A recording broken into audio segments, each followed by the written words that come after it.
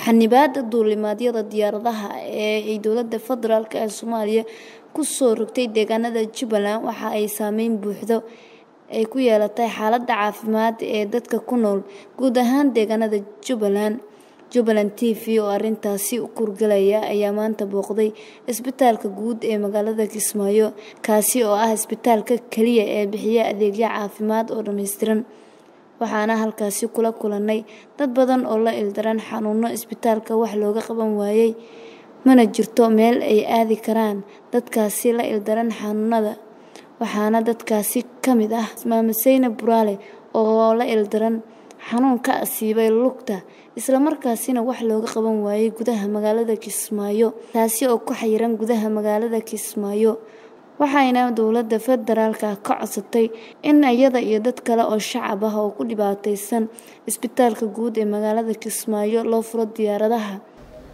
Waxaan ku cadibanahay isbitaalka kismaayo oon ulaanahay dayaarado lug baa la iga hayaa oo i boloshay in la iisoo qaadaa la rabay. Ani iyo qowmiyad badan dayaarad la'aan aan meeshaan u fadhinaa. Saasna ilaahay xaqiisa ma ahan islaamnimo ma ahan madaxweynenimo ma ahan madaxweyne waxaa la rabaa inuu u diirnaxo inuu u diirnaxo dadweynaha. Dadweynaha inuu u diirnaxo markaasuu meeqaan gaarayaa markaasuu asna meeshuu rabo tegayaa ilaahayna uu la jiraayaa dad masaakiina maskaxda haddaa oga istaagtid adna waa malgaaga istaagi. Si deg a waxaan u baahannahay dayaaradaha inaad noo soo fasaxdid. Noo soo fasaxdid dayaaradaha lug baa la iga hayaa oo boloolya oo in laigu soo qaado la rabay. Yaa tiro lixdanaan jiraa waxaan rabaa in maxay diyaaradaha inaad noo soo fasaxdaan kaa codsanaynaa agaasimaha guud ee isbitaalka magaalada kismaayo xuseen qaasim cali ayaa jubbaland t v uga warbixiyey saameynta ay ku yeelatay isbitaalka magaalada kismaayo xayraada diyaaradaha isagoo oo sheegay in isbitaalka daawada uu ku shaqeynayo iyo qalabka ay uga imaan jireen magaalada nairobi islamarkaasina aysan jirin. Wax isbuucii la soo dhaafay daawaha oo u imaaday ayna goobaabsii mareysa qaar ka mid ah daawadii iyo qalabka ay isticmaali jireen isbitaalka guud ee magaalada kismaayo. Halka qaar kalena ay ka go-an yihiin. Hadday noqoto xaggii dawooyinkii ama agabkii kale ee bukaanka loogu adeegayey ama bukaanada aanu waxba ka qaban kari weyno oo aanu u diri jiray muqdisho ama nairobi oo kale. Labadaa arrimood oo muhiima iyo arrintani si weyn u saameysay tusaale isbitaalku dawada iyo agabka uu ku shaqeeyo wuxuu ka yimaadaa nairobi. Maalinta isniinta ah iyo maalinta khamiista ah ayaa isbitaalka la keeni jiray.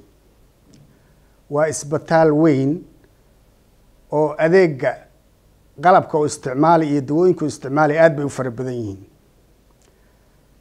Labadii maalmood ee naloo keeni jiray dawooyinka iyo agabka aanu ku shaqeyno laguna keeni jiray dayuuradaha ka soo baxa nairobi hakad baa galay.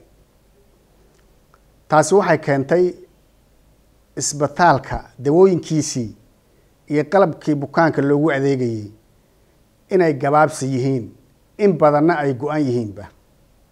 Tusaale isbitaalka maalin walba gabdho fara badan oo dhiig baxa.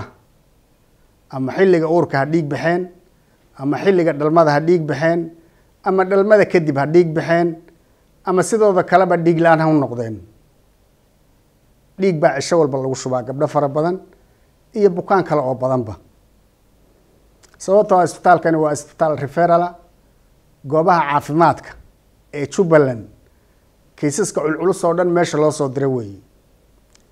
Dadkii sidaa ahaa waktigan hadda aynu taagannahay galabta oo ay taariikhdu tahay shan iyo labaatankii bishii sagaalaad laba kun iyo sagaaliyo tobanka ma hayno baagii dhiigga lagula shubayey ruuxa dhiigga u baahan. Waa arrin emergency ah. Waa arrin qofku si deg dega ugu dhiman karo waxaa kale oo naga go-an dawooyin iyaguna sidaasoo kale dawooyinka emergency-ha ah muhiimad weyn isbitaalka ule iyo bukaanka iyo qalabkii kale. Saameyn aada iyo aada u weyn baa dayuuradahan la xanibay dhinacaasa balaygii noo iman jiray naga soo gaadhay.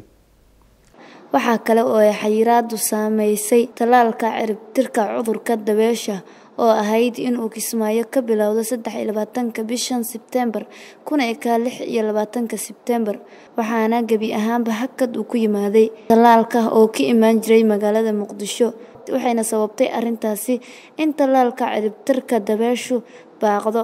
Waad ujeedaan ninkan waxaa laga keenay kamsooma intaynu hadda waraysiga ku jirnay ayaa la keenay. Ninkaas hadda dhiigin lagu shubo u baahan yahay kow bacdii dhiigga lagula shubi lahaa way naga go-an tahay. Dayuuradihii keeni jiray waa la xanibay kuwo kale oo isaga lamidaa soo socda daqiiqad walba bukaano noocaas oo kalea isbitaalka imanaya. Adeegii loogu shaqayn lahaa hadday dawo tahay iyo hadday qalab kala tahayba waa wax go'ay iyo wax gabaabsiya. Ummadda soomaaliyeed madaxda soomaaliyeed waxay uga baahan yihiin naxariis iyo dulqaad. Waxaan codsanaynaa dayuuradaha sida ugu dhaqsaha badan in cunaqabataynta looga qaado oo ay kismaayo ka soo degaan. Si bukaanka rifeer u baahan oo meel kale aanu u dirayno uu jaanis u helo. Dawadii bukaanka loogu shaqaynayena loo keeno